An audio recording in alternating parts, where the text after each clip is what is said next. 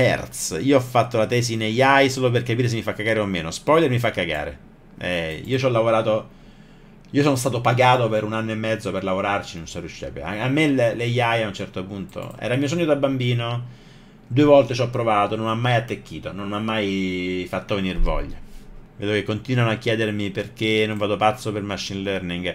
Perché machine learning non è informatica. Machine learning è, è come alchimia versus chimica. Cioè la chimica è studiare le, mole- studiare le condizioni di causa-effetto. Quindi studiare le cause per generare effetti, studiare i processi, capirne le cause, capirne il determinismo. Cioè il software engineering è determinismo. Il machine learning è alchimia, è magia.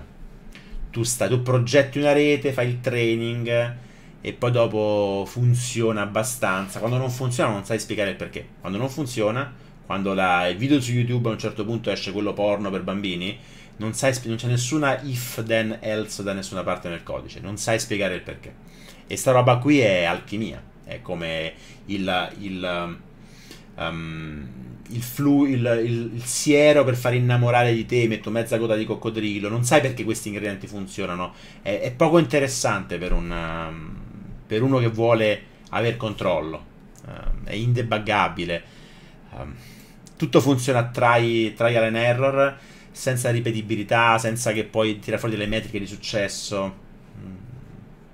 Non, non fa per me, non è ingegneria.